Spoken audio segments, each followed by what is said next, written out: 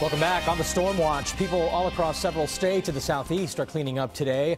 A wave of deadly storms moved through over the weekend, bringing tornadoes and flooding, leaving at least 15 people dead. CBS 4 anchor Lauren Pastrana shows us some of the hardest hit areas. Tornadoes like this one left the Texas town of Canton in ruins. Don't like coming back here, realizing we almost died. A woman was found dead at this Dodge dealership after cars there were turned into twisted wrecks. Police believe the woman was driving and blown off the road.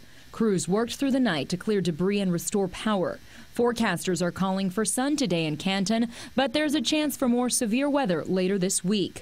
More drone footage reveals the extent of the flooding in Missouri. I just wish it was here. That's all.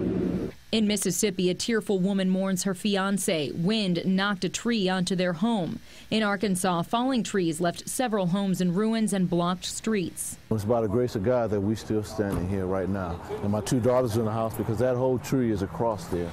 The heavy rain caused the Chicago River to rise to dangerous levels. And in Oklahoma, officials released water from the Ouachita Dam after more than eight inches of rain fell on Saturday, forcing residents to evacuate their homes as the storms moved east. Where you see the enhanced threat here, Colored in orange, Pennsylvania, upstate New York, damaging wind, heavy rain, hail, and even isolated tornadoes will be likely. High schoolers in Posey County, Indiana, took the weekend weather in stride.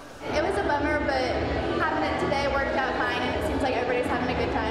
They dressed up for a second straight day after flooding postponed Saturday's prom. Lauren Pastrana, CBS 4 News.